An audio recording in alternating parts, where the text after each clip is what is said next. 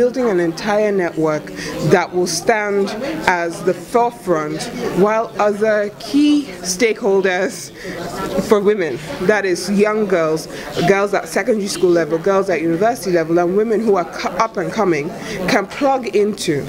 But you can't plug into something that doesn't exist. So that's what we're doing here today. We're creating, we're starting the creation of a network that all female leaders, successful female women, uh, successful women uh, who are female and are thriving in their different ecosystems or in their different um, tribes, so to speak, can stand at the forefront and work together to create. So these young girls and young women and women who are up and coming and trying to achieve this level of success can plug into and have a platform to do so. Brunch seems to be an amazing opportunity for women to come together um, and help women that are coming underneath them and also create like an opportunity for women to network, share their experiences and share their connections with each other. I think that women today feel a lot more empowered.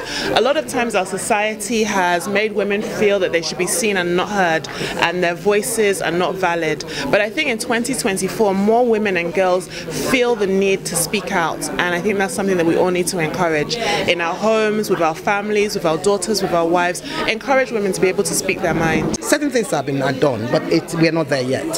Uh, and I suspect perhaps the follow-up question would be, what then should we be doing? What are we should be, lo we be looking at that we're not looking at? So you, it is important to see this from a very holistic perspective. And what do I mean by that? You ask yourself, what are the critical things that are needed? There is the legal part of it, which is do we have the law's legal framework that makes it enabling for women to do what they need to do? Do we have the kind of space that a woman can feel okay to go into any kind of work that they need to go into, irrespective of what stage in their life that they have? And the answer is not is, is that we don't have all of that being kept. Secondly, do we have access to capital, access to resources? The answer you will, I'm sure you will also be able to answer.